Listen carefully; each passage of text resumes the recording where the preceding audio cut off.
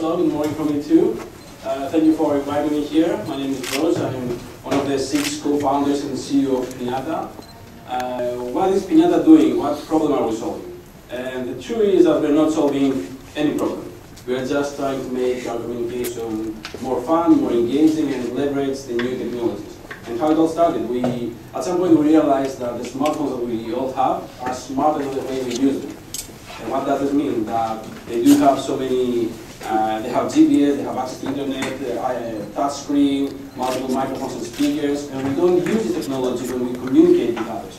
We only send a text message or maybe a phone call, like what we did with our first phone, our first mobile phone. And Facebook, Twitter, email are still at, at the category of static messages. That's the first thing. And the second thing is, and you can realize it from Facebook mainly, that users are struggling to create content. Very rarely someone says, I'm sad today, I don't feel good. We post a, a sad song. So if you analyze that, you get the result that people are looking to find content that expresses them, and once they find it, they spread it like crazy. So we combine those two, and we create Pinnatta, which is an interactive messaging service that allows you to exchange rich multimedia messages on smartphones with your friends. Uh, so it's a technology platform that does this geeky data transmission thing, and on top of that, it's a library with uh, ready-to-use and ready-to-personalized messages that our goal is to meet any reason you have to communicate with someone or express yourself. And because, however, I, I explained to you, each of you will render it in a different way on your minds. Uh, let me show you very quickly uh, a quick video we have here.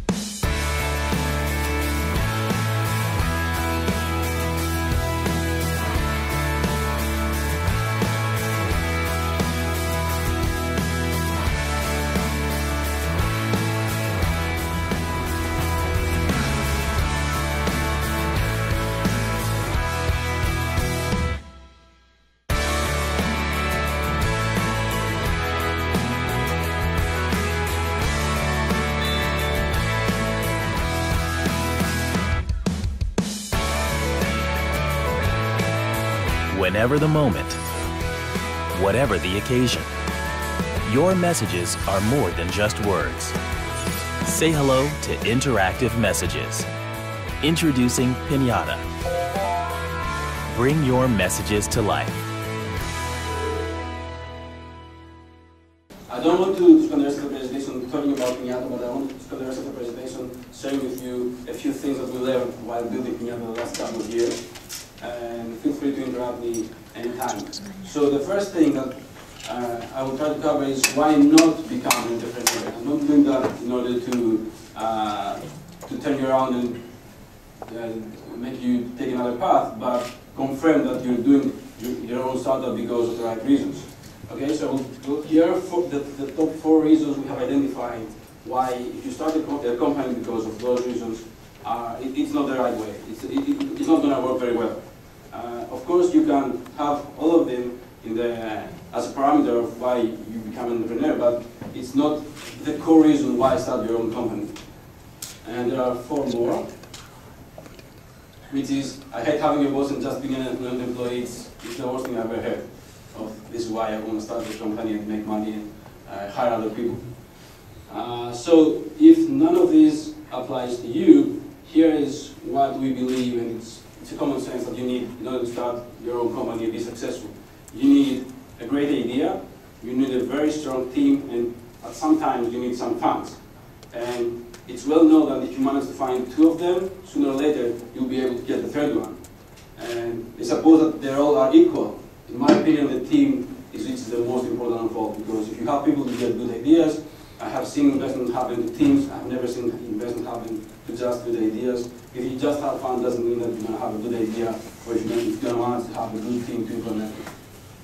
Uh, and this is actually a slide because I, I usually uh, use it in Greece because startups and funding are very combined lately. And I just want you to remember that not all startups need funding. The most successful startup didn't didn't need did investment at very early stage, but they did an investment. They, they took an investment when they wanted to expand. So if you want to become an entrepreneur and if you're thinking of what things you can do, sorry, I believe that mobile is a very, very great space and a very interesting industry. George will, uh, will support that, thing during his talk too. And why? The, the, the core three reasons we see is, first of all, because you can reinvent everything. Take games, for example. You, you, you, we were used to play games, board games, table games, then we put them in consoles, then we took them again and we put them on, the web, then we retook them and put them on Facebook, now we're putting them on the mobile. And every time it's something new, and every time it's more engaging. So you can do that on everything you can imagine, from simple services to simple products to games to whatever. The second thing is that mobiles offer very, very, very powerful hardware. They have all these GPS I mentioned before, they have all those uh, touch screens, all these sensors, and you carry them all the time. So you can engage users anytime. You can just send them a notification and you can bring them back on your application. So the combination of those three gives a, a super extreme space that you can do so many great things. The first thing the whole world is going mobile. Everything we have been doing so far, now it's been ported to our mobile devices. The second thing, and this is kind of scary if you analyze it, is that this, your smartphone is a reflection of who you are. I don't know most of you are here, but if I want to learn the most things about you, I will take your smartphone, not your purse. Because with a smartphone, I can see your friends, I can see your photos and your videos, what music you like, what pages you're browsing. I can, I can understand the most things from your smartphone, so be careful don't lose your smartphone. It's a huge market. It's, it's a really huge market.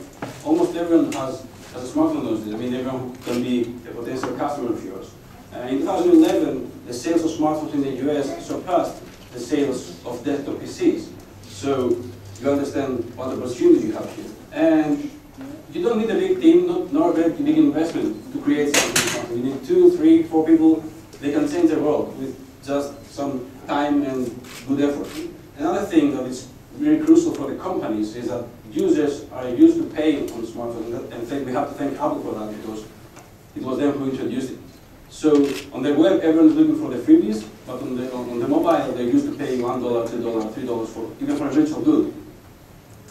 On the other side, there's a dark side too. First of all, which is quite technical but really, really tough, is the compatible platforms. If you create something for iPhone and then you want to put it for Android, you need to recreate it for Android, which is really difficult. The second thing, which is very, very challenging if you're an entrepreneur, is the range of success. If you had a local store and you had 1,000 customers, then you will be making some very good money. If you have a website and you have 100K, 100K yeah, uh, visitors, you can make some good money. In mobiles, you need 1 million users in order to be able to make some good money. So the challenge is huge. And the competition is also crazy. Just imagine that every day, 1,800 new apps have been uploading on iOS. And if you add on that about double number on Android, you understand how difficult it is to reach your customers. But if you're an entrepreneur, you, you have to live with competition the life of an entrepreneur is, a daily competition. The, first, the very first day, it's a competition on why should I choose this idea or that idea or the rest one. Uh, the second would be why should I choose this co-founder or that guy or the other one. And this goes to the users then. Why should I download this application for that one? Why should I pay for this service or that one? And it's, it's a game of competition you have to survive if you want to create something. The very first thing that you need to do is to have a vision, to identify what you need to do, to save it in your mind, and but you need to stick to that. For example, back in March of 2011, when we hadn't started yet, we just had a team, a team of six people, and the, the vision of what we to do, and we didn't have a prototype yet. And we have been discussing with uh, investors in, uh, in the Valley. A Ukrainian investor came to us and said, you know what, I like your team, I, I really, really like what you're going to do, but I don't think that we should do it that way, we should do it the other way, and I'm ready to invest $5 million right now. And imagine how we felt when we had something we wanted to do, and someone was offering 5 million to do something similar but not that. And we were in this awkward position to say no, because this is not what we want to do. Time will show if we did the, the right decision. It, it, it works so far. So the second thing you need to do is to get informed. You need to know what you're going to focus, what, what, you know, what you're going to face. Sorry. And it's not just the competition, what other services or products are out there. You need to know in which country you're going to incorporate and you're going to operate, what are the taxes there, what's the laws, what are the opportunities. You're going to make a, company, and the life of the company is to make money. So all these things are really important and will change how you're going to do things. The second thing you need to do is to create an executive summary. One page or two page, simply, very briefly describe and reply to the, the 10 basic questions that every investor or every partner would like to, to hear from you, to see the replies. Uh, don't spend too much time to write a complete business plan because of someone else, for, so, so someone else will read it. But make it for yourself because if you need the answer, it's going to make much, it's to be much easier for you to, to execute it properly. Another thing is that you need to manage risk. Risk is always part of your everyday in, in, in, in, in a startup. So as soon as you can do write down the list what the things that you believe that can make you fail and try to eliminate one by one. For example, in our case, we identified from the very first day that 2010 when we started, the investors' mentality in Greece was quite different. Smartphones weren't at the stage that they are right now, so it was really difficult for people to understand our project. So their opinion was that they didn't have the right filters to, to have a, a proper opinion. So we had to send one of us to, to the Silicon Valley to chase the dream of all of us, like the Russians and like in, the, uh, in, in space in the, in the 70s. If you have people of them, you have calculus, you have passed through them and come down from the product, Guy Kawasaki, my good friend Guy Kawasaki, has described it properly. Make it dicey, make it deep, intelligent, complete, empowering, and elegant. If you manage to include all those five parameters in your product, then the chances that you're going to fail are very, very low. Get feedback and go out there so that you can get feedback, get advices. This will help you to make it better. In our case, in 2010, on the very first week that we started discussing with investors, we had a very interesting conversation with a good friend of mine who, who's not, his background is not tech, he's not uh, uh, from technology, but he's doing investments every now and then. And we presented Pinnatta and we asked for his feedback and his willingness to invest. And he said, you know what? Uh, since the chances to, for this to succeed are less than 70, than 46%, I prefer to play my money in consumer black and, and red. So if we hadn't figured that and we knew that, yeah, he's an investor, he knows, we, have never, we would have never done Pinnatta. So you need to filter what people tell you. You have started that and you need a very strong team. As I said, good teams sometimes, good ideas not always. And we have managed to create a very, very good team. We started six people, the first six, the six on the first row, and now we are 18 people. We have very good background in gaming and uh, marketing and advertising. And on top of that, we have a very good team of advisors and investors from all over the world that help us.